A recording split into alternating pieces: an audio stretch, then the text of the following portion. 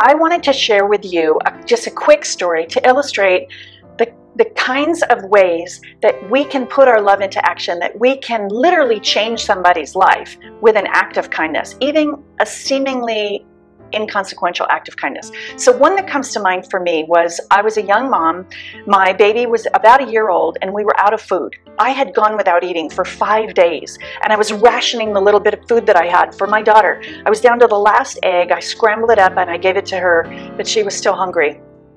I remember I was on the floor of the filthy little floor of the little apartment that we had because I had no furniture. And I was trying to play with her and trying to distract her. And she was fussy and she was hungry. She wasn't having any of it and somebody knocked on the door. And I thought, okay, so that's so odd. I don't have any friends. I don't have family. I had no network. I had no support. Who could be knocking on my door? I answered the door, and it was this very elderly little lady, and she had this box of food. And they were like half gone packages of various things.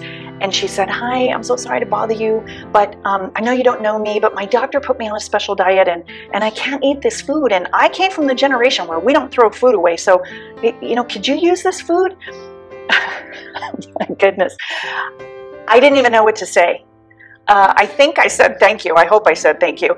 I was stunned because I had I had been on the floor playing with my daughter with literally just water coming out of my I wasn't boo-hooing but and I wasn't like depressed it was beyond depression it was despair I didn't know what I was going to feed her the next day and every day until I got my paycheck and this woman who I didn't know showed up out of the clear blue with food well that food held me over to the paycheck not only did that lady feed us but she gave me hope it was like God Himself knocked on the door and said, You know what? You're going to get through this. I know it's tough, but hey, you know what? Hang in there.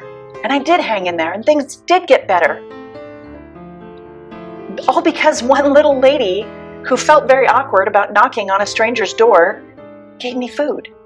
See, we all can do things that are seemingly inconsequential. We have no idea on the other end what it's going to do for the other person. So we have to quit worrying about what the other person's going to think. Are they going to receive it?